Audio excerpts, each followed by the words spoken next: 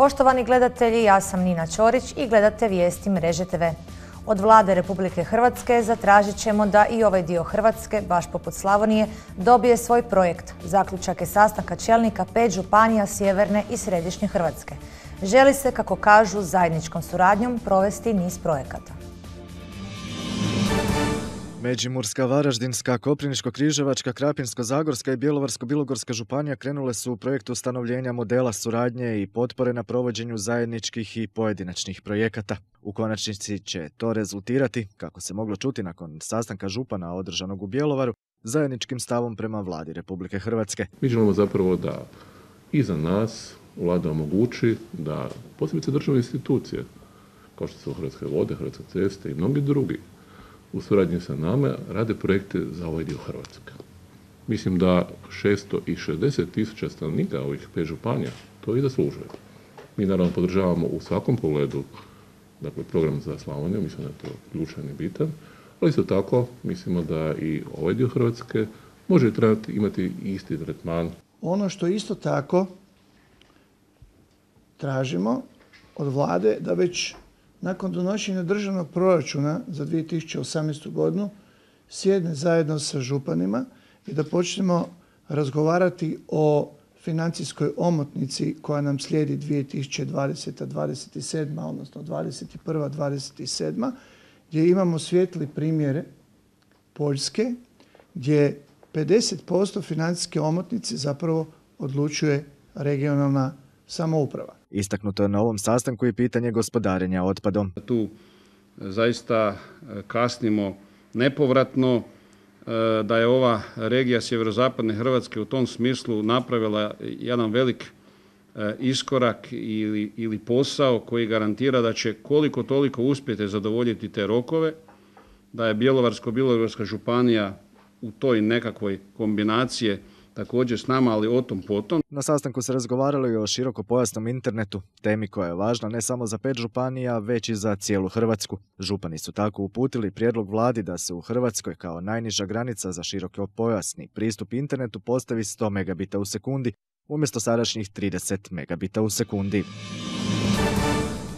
Aktualni sat treće sjednice Gradske skupštine grada Zagreba prošao je u drugačijem tonu od onog na koji su građani navikli.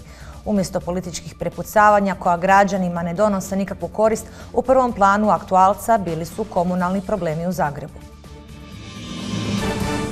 Ovo je jedan od rijetkih aktualaca na kojem se više govorilo o komunalnoj infrastrukturi grada Zagreba. Zastupnici gradske skupštine progovarali su o problemima svojih sugrađana. Jedan takav je odvodnja otpadnih i fekalnih voda u blizini Vinogradske bolnice stanovnicima ulice Vinograd i Odvojak, iako žive u prvoj građevinskoj elitnoj takozvanoj zoni 150 metara iznad KBC-a Sestre Milosrednice, otpadne i fekalne vode odvode se kanalom što teče ispod njihovih kuća. De facto kanalizacija njim ide otvorenim kanalom kao u srednjem vijeku. Gradski zastupnik je također naglasio kako je jedna lokacijska dozvola za gradnju 100 metara kanalizacijskog kanala istekla, a druga je produljena za godinu dana. Dok gradskim službama trebaju godine da riješe potrebnu dokumentaciju, stanari dalje žive u smradu, a kanal je postao izvor zaraze na samo 150 metara od Vinogradske bolnice.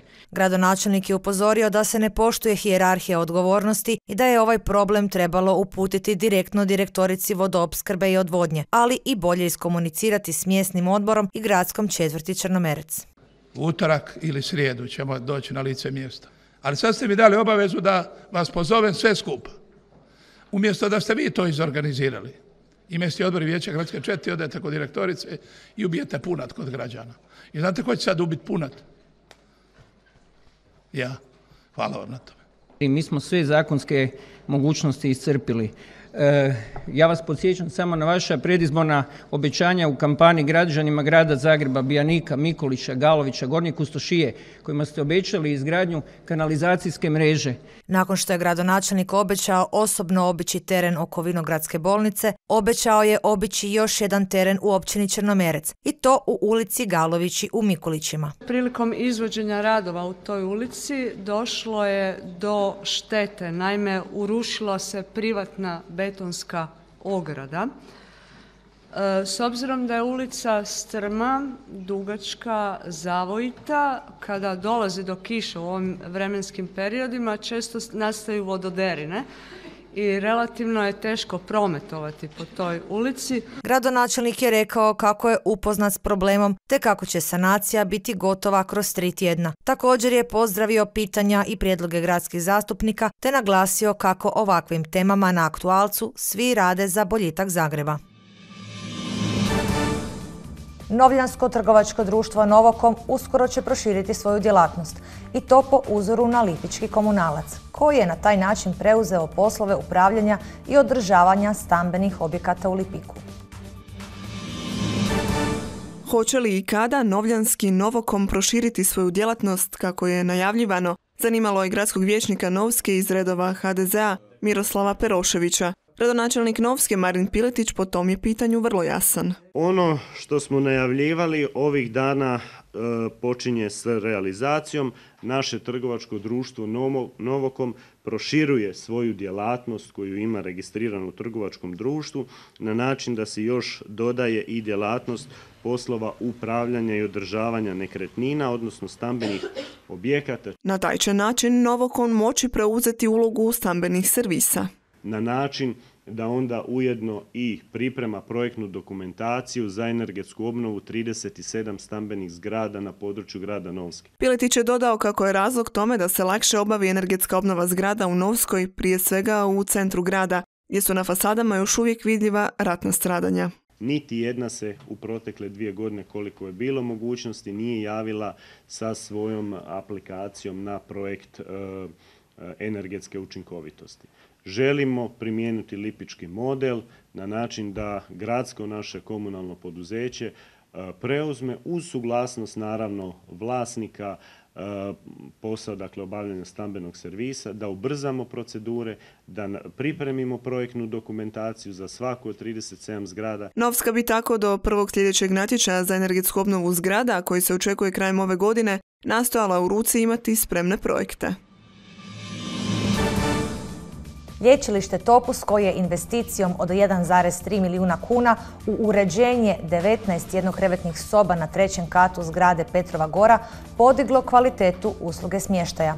Svećanom otvorenju novo uređenog kata nazočio je i sisačko-moslavački župan Ivo Žinić. Nakon financijski uspješno završene 2016. s financijskim rezultatom u iznosu od 2,5 milijuna kuna, Postignutom financijskom stabilnošću koju karakterizira visoka likvidnost, Lječilište Topusko u ovoj je godini krenulo u obnovu smještajnih kapaciteta. Do sada se naime značajno ulagalo u opremu i prostore za provođenje fizikalne terapije, a sada i u sobe za pacijente. Na novourađenom trećem katu Petrove gore 19 je soba. Ovo nama znači puno, zato što od izgradnja ovog kompleksa 80. godina prošlog stoljeća nije bilo značajnije ulaganja u smještani kapacitet lječilišta ili top termi. Uvijek smo nekako gurali e, ovaj dio sa uslugom u medicinskom zdravstvenom smislu da fizikalne terapije. Ovo je najznačajnija jedna u stvari konkretna investicija u smješteni kapacitet. To nam je uvijek bila mana. To je mana svih, svih specijalnih bolnica i, i pogotovo koje su u, u, u sustavu javnog zdravstva i ovo je bio jedan hrabar iskorak e, prema, prema tom e, dijelu koji se mogao dopustiti e, upravo zbog e, financijske stabilnosti i pozitivnih rezultata poslovanja e, ustanove. Ovo je jedan od malih koraka koje smo u protekle tri godine u lječilištu činili, istaknuo je Sisačko-Moslavački župan. Moram izraziti veliko zadovoljstvo sa ovim što je učinjeno i danas sa novo uređenih 19 soba koje doista, evo već su sada napunjene, će puno značiti za razvoj lječilišnog turizma u našoj županiji ali svakako ono što nam je cilj da doista postanemo lider lječilišnog turizma u Hrvatskoj. Uz nedavno otvoren prostor hidroterapije, najmoderniji u Hrvatskoj, i ostala velika ulaganja u medicinsku opremu i energetsku obnovu zgrada, trebala bi osigurati povrat investicija kroz privlačenje većeg broja korisnika. Puno je uloženo u energetsku obnovu ovih prostora, u sam hotel Petrova Gora, ali i određene druge lječilišne kapacitete. Evo, imamo i najmoderniju hidroterapiju, imamo određene uređaje moderne za e, preglede naših pacijenata i korisnika, a svakako evo e, veliko ulaganja će biti i u blatne kupke. Već sada nudimo mogućnost liječenja blatom, dakle fangoterapijom u e, novim prostorima, u jednom dijelu prostora, ali evo očekujemo da će se dio tih prostora obnoviti i to će biti sljedeći korak. Radovi u sobama na novo uređenom trećem katu Petrove gore uključivali su zamjenu električne, vodovodne, kanalizacijske i komunikacijske instalacije i opreme, kupnju novog namještaja te opremanje kupaonica. Uz to uveden je i sustav klimatizacije u sobama te bežična mreža. Slijedi pregled kratkih vijesti. Općina Velika Ludina u suradnji s tvrtkom Eko Moslavina na svom će području tijekom listopada provesti akciju prikupljanja i odvoza glomaznog otpada. Za provedbu te akcije 12. listopada bit će postavljeni specijalizirani spremnici na javnim površinama i to u većini naselja kod društvenih domova, a u Velikoj Ludini na parkiralištu između tamošnjeg društvenog doma i župnog dvora. Sam odvoz glomaznog otpada predviđen je u razdoblju od 17. do 20. listopada i to iz svih naselja na području općine Velika Ludina. Samobor nastavlja jačati turističku ponudu, no ovog puta postavljanjem novih Wi-Fi točaka za besplatan pristup internetu. Na trgu Kralja Tomislava i trgu Matice Hrvatske besplatan je pristup internetu omogućen preko Samobor Free Wi-Fi mreže. Tu posjetitelji mogu potražiti sve potrebne turističke informacije, fotografirati se te putem pametnih telefona, tableta i sličnih uređaja dijeliti fotografije i dojmove na društvenim mrežama. Na taj način na turistički najfrekventnijim otvorenim površinama koje nude javne turističke sadržaje, građanima i posjetiteljima turistička zajednica grada Zagreba omogućila korištenje besplatnog bežičnog pristupa internetu. Čazmansko gradsko vijeće donijelo je odluku o ponovnom podnošenju zahtjeva prema Županijskoj skupštini Bjelovarsko-Bilogorske županije za prijenos osnivačkih prava nad tamošnjom osnovnom školom. Zahtjev je bezuspješno podnijet i prije četiri godine, stoga sadašnji saziv gradskog vijeća očekuje kako će Županijska skupština ovog puta imati sluha. Iako je Bjelovarsko-Bilogorska županija osnivač tamošnje osnovne škole, grad Čazma u tu ustanovu već niz godina ulaže znatna proračunska sredstva. Žele gradski čelnici poboljšati obrazovne standarde i dograditi školu, no to nisu u mogućnosti napraviti sve dok im županija ne preda osnivačka prava. Pa još 2013. gradsko vijeće grada Čazme je donijelo odluku da želi, um, e, želi osnivačka prava nad osnovnom školom s obzirom da nam to zakon omogućuje i tim više što gradovi koji imaju direktnu skrb nad školom tu stvar bolje funkcionira jer županija eto ima puno škola, puno briga, mi želimo rasteretiti jedne brige da bude jedna briga manje. Novi saziv gradskog vijeća Čazme ponovio je odluku iz 2013. godine, te traži od Županijske skupštine da na dnevni red stavi tu temu i napokon prepusti osnivačka prava nad školom gradu Čazmi. I onako indirektno i direktno pomažemo rad naše škole. Evo, kroz školske udžbenike, kroz uređenja okoliše škola i puno toga. Dakle, mislimo da bismo sa, e, kad bi bili, imali osnivačka prava, puno toga riješili. Pa i onaj dio što evo nije logično da naši sportaši, mladi koji se takmiče u klubovima, e, plaćaju zakup školske dvorane i to nas košta evo i gradski proračun oko 150 tisuća kuna da plaćamo županiji zakup dvorane, to nema smisla. Stanje u osnovnoj školi nije zadovoljavajuće, poručuje gradonačelnik Pirak. Funkcionira u pregrađenim prostorima gdje pregrađujemo čak školske hodnike da bi se mogla odvijati nastava. Dakle, nužnost je proširenje kapaciteta, nužnost je da, da dobijemo nove prostore, pa mislim da je Čazmanska škola jedina u Županiji gdje svi učitelji, dakle profesori koji rade u školi ne mogu sjesti u isti prostor jer je zbornica premala. Dakle, mogu se e, učiteljska vijeća e, održavati na jedan neprimjeren način. Prema riječima gradonačelnika Piraka, tu je i nekoliko područnih škola koje su u još gorem stanju nego ona matična. Ako nakon niza godina nastojanja grad od županije dobije osnivačka prava, planira se odmah krenuti u postupak poboljšanja uvjeta rada u osnovnoj školi. Gotovo 400 tisuća Hrvata ovisno je o alkoholu, a sve je veći broj patoloških kockara. Ponovno je u porastu konzumacija sintetskih droga, a pozitivna je vijest da je konzumacija najteže droge, heroina, u padu. Ovisnost je vrlo teška bolest, razara pojedinca, ali i njegovu obitelj. No, uz adekvatnu pomoć, ovisnici u alkoholu, drogama ili pak kocki mogu se u potpunosti izliječiti. U Zagrebačku kliniku za psihijatriju Vrapče svakim danom sve više onih koji traže pomoć u izlječenju neke od ovisnosti. Psihijatar Ivan Čelić, pročelnik Zavoda za dualne poremećaje u toj klinici, svakodnevno se susreće s bolesnicima koji boluju od raznih psihoza kod kojih je došlo zbog ovisnosti. Ovisnost je najčešće doživotna bolest, to je teška bolest. Ovisnosti možemo podijeliti u tri skupine. U prve društveno prihvatljive droge gdje bih stavio alkohol i duhan u ilegalne droge i u nove ovisnosti, dakle tu prije svega spada kockanje, klađenje, ovisnost o internetu, dakle to mi zovemo takozvanim novim nesubstancijalnim ovisnostima, za razliku od ovih klasičnih ovisnosti gdje vi nešto uzmete pa to djeluje na mozak, toga kod novih ovisnosti nema. Vrlo teško pa i nemoguće je otkriti uzroke ovisnosti, naglašava Čelić. Genetska predispozicija je važna, ali isto je tako važno u kakvim uvjetima mi odgajamo se. Znači, pitanje je tu e, takozvane rizične djece. E, funkcionalnost obitelji je važna varijabla, ali imate situaciju, dakle, četvero djece, troje djece je sasvim normalno, četvrto dijete je problematično, zapalo je u problem ovisnosti. Dakle, ne treba onda okarakterizirati e, disfunkcionalnost obitelji je bitan čimbenik, ali nije ključni sada ako je obitelj disfunkcionalna, svatko mora postati ovisnik, to nije tako. Zanimalo nas je koje su droge trenutno popularne. Ono što je ohrabrujuće, dakle najteža droga heroin je u padu i to je nešto što je dobro, ali e, sve veći je veći porast marihuane.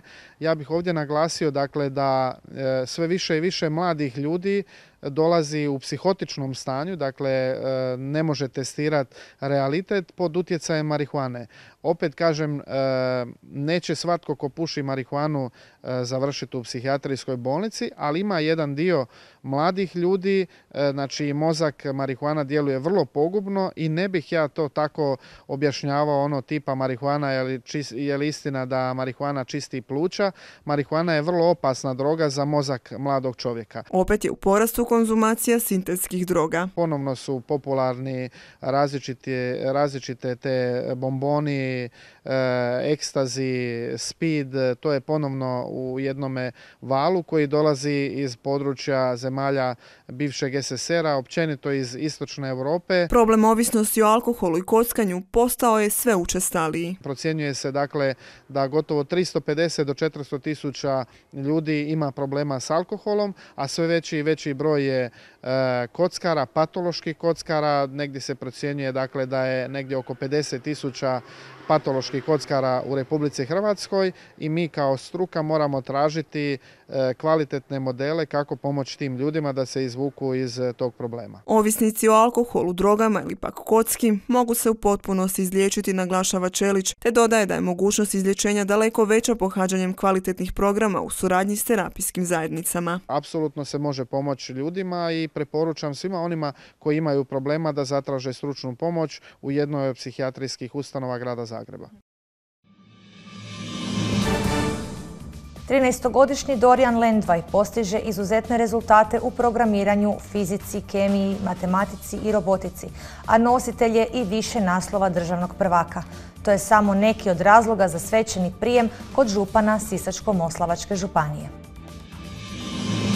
Iako ga pomalo smetaju blicevi fotoaparata i svjetlokamera i riječitost pred mikrofonima mu nije najjača strana, Dorian Lendvaj, taj 13-godišnji genijalac iz Popovače, ipak je za računalom u svom elementu. Tako je i samom županu Sisačko-Moslavačke županije trebalo vremena za nabrojati sva Dorijanova postignuća. Želim čestitati Dorijane doista tebi na ovim rezultatima koje si postigao. On je do sada osvojio šest naslova državnog prvaka u programiranju. Po tri u oba programska jezika, a na kvalifikacijama za svjetsko, svjetsku prirodoslovnu olimpijadu, fizika, kemija, biologija, bio je najbolji plasirani učenik svoje generacije. Na prvoj Hrvatskoj juniorskoj informatičkoj olimpijadi dijelio je prvo mjesto sa 100% riješenih zadataka. Prošle godine bio je svjetski prvak u robotici, kategorija Core Space, e, ispred kao hrvatske osnovnoškolske reprezentacije koje je bio kapetan, a ona je pobjedila u superfinalu svjetske srednjoškolce prvake iz Singapura. Dakle, jedan izuzetni vrijedan uspjeh. Ove godine se plasirao na prvu Europsku juniorsku informatičku olimpijadu na kojoj je osvojio brončanu medalju i priznanje za najmlađeg osvojača medalja na toj olimpijadi. Kada toliko uspjeha i priznanja treba nabrojati, lako je i pogriješiti. Nešto si mi šapnuo ovdje. Šta si rekao, finale? Super finale. Što, što ste nazvali super finale, to je bilo o finale kategorije super timova, gdje su bila dva srednjoškolska tima i jedan osnovnoškolski. Dorijan je računala otkrio već dvije godine gledajući starijeg brata, a već u drugom osnovne završio je na državnom natjecanju za učenike petih razreda kao najmlađi učenik u Hrvatskoj koji se ikada plasirao na državno natjecanje iz informatike, kaže ponosni otac i sam informatičar. U obitelji Lendvaj još su dva informatička prvaka države, 18-godišnji Vilim i 12-godišnja Dora. Dora je najmlađa, ona je tek ove godine bila na državnom natjecanju i pobjedila u kategoriji logo, što je prvi put poslije nekoliko godina da je neka djevojka u bilo kojoj programerskoj kategoriji pobjedila na državnom natjecanju iz informatike. Lendva ističe i kako Hrvatska ima kvalitetne nastavnike i učenike kako bi se na području informatike postizali rezultati na svjetskoj razini, a uz još bolji sustav i ulaganja, Hrvatska ima i šanse u četvrtoj industrijskoj revoluciji postati ne samo gledatelj, nego i jedan od predvodnika. Zagreb će 30. rujna opet biti Pariz u malom. Naime, već tradicionalno projekt Bijela noć ujedinit će raznovrsne umjetničke intervencije, kulturna događanja, performanse i instalacije. Tako će čak 13 lokacija u Zagrebu biti u ruhu suvremene umjetnosti. Već sljedeće jutro, točnije 1. listopada, bit će održan i dan otvorenog trga u organizaciji Hrvatskog narodnog kazališta. Bijela noć, projekt koji je nastao u Parizu, ove subote dolazi u Zagreb. Umjetnički taktovi predviđeni su i za nedjelju kada se održava dan otvorenog trga. Događaj koji građanima Zagreba i njihovim gostima nudi uvid u djelovanje različitih kulturnih i obrazovnih institucija. Veseli me što ćemo po treći put imati dane otvorenog trga i po drugi put dane e, bijeli noći. Dobro je da se to događa uz jednu malu ispriku da prenesu mediji građanima. Ja se duboko ispričavam u ime svih organizatora i svoje da ćemo od 18 sati do 24 sata imati zatvoren frclek Masarikove, odnosno cijelu Masarikovu, e, dio male Gundulićeve križanja i dio malog frcleka Predadovića.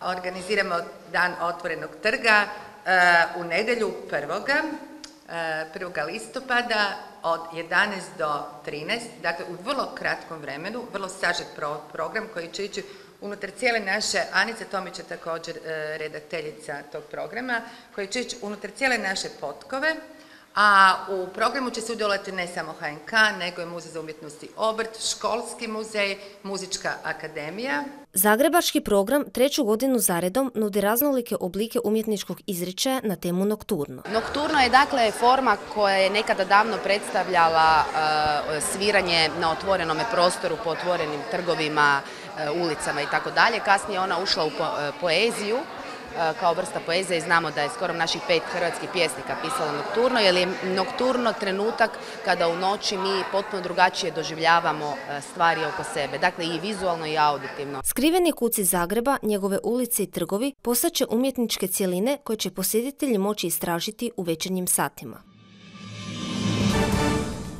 Bilo je ovo sve u današnjim vijestima. Ostanite s nama jer slijedi još vremenska prognoza. Želim vam ugodan ostatak dana. you